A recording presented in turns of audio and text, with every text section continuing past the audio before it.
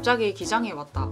사실 찍을 생각은 없었는데 같이 간 동생이 지금부터 갈 곳은 주말엔 절대 올 수 없는 하플이라는 말을 듣고 소개도 해볼 겸 겸사겸사 카메라를 켰다. 이번에 같이 간 친구들은 운동 모임에서 만나게 된 애들인데 이 녀석들의 특징은 운동에도 진심이고 푸파에도 진심이다. 아 술도.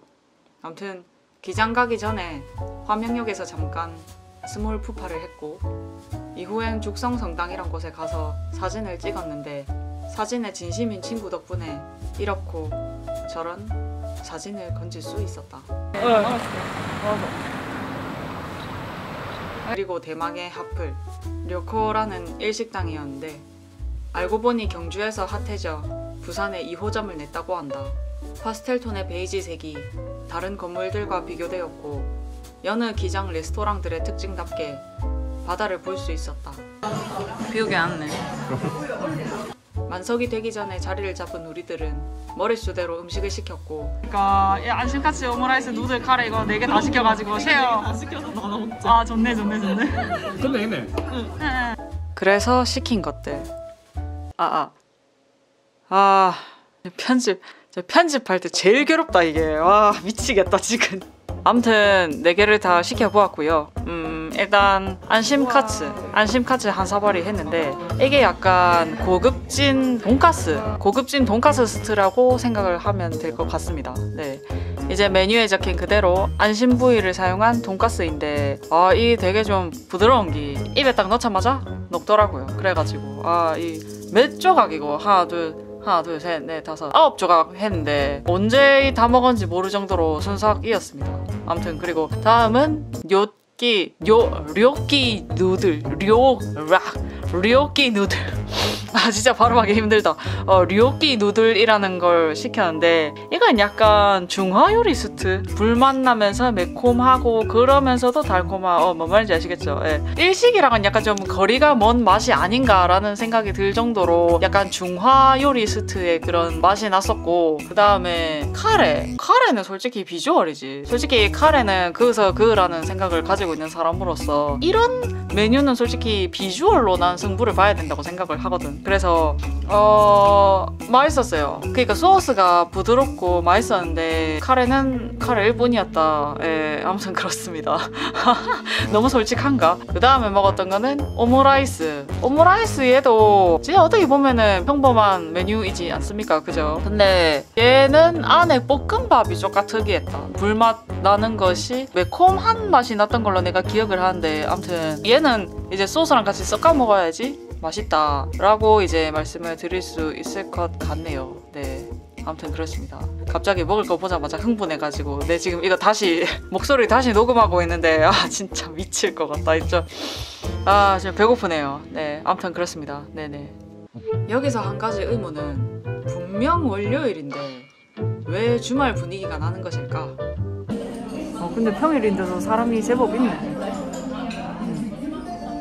아 눈부셔 눈뽕 월요일에 일 안 하고 놀러 다니는 사람은 도대체 무슨 일을 하는 걸까?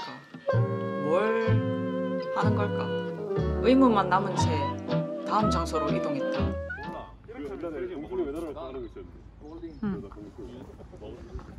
보자마자 신상의 기운이 느껴진다.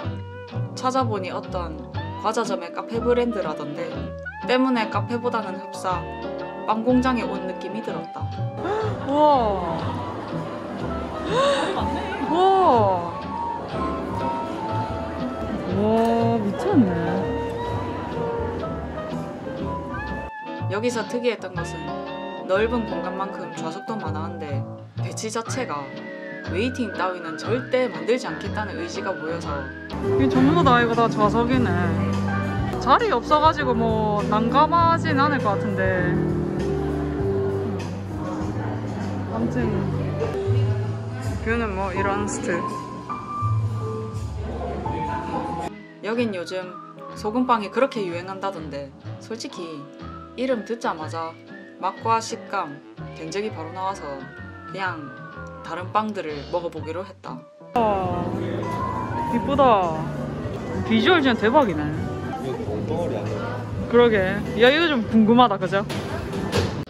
그래서 지른 것들. 가격대가 있는 편이긴 하지만 그만큼 좋은 구경하면서 좋은 사람들과 즐거운 얘기를 할 수만 있다면 그걸로 된 게 아닌가 싶다.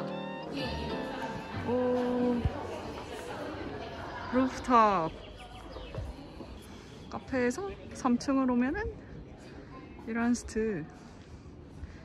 야 이게 좌석이 넘쳐나네. 어허. 되게 주말 같지 않나? 맞아.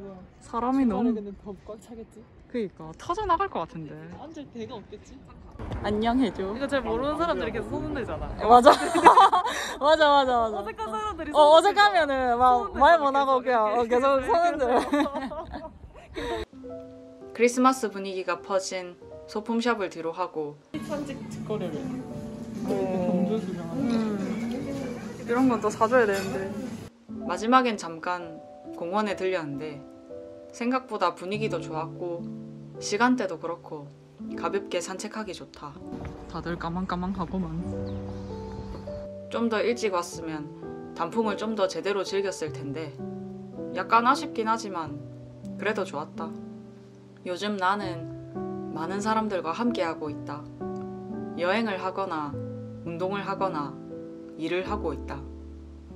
이전에는 혼자서 다 했던 것들인데 지금은 어울리면서 느끼는 즐거움이 더할 나위 없이 좋다. 혼자라서 포기해야 했던 것들을 이루는 성취감과 재미, 혼자라서 지나쳤던 것들을 알아가는 신선함과 즐거움 때문에 내 삶도 뭔가 새로워지는 느낌이 든다.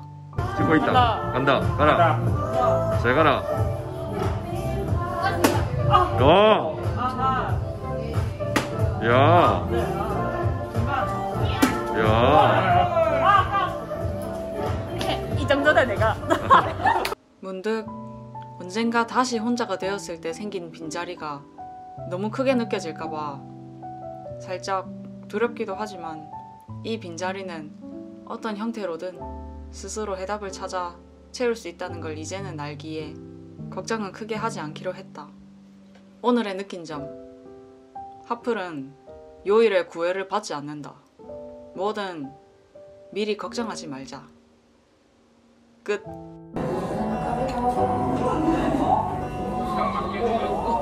좋아 좋아. 아 이런 거 너무 좋다.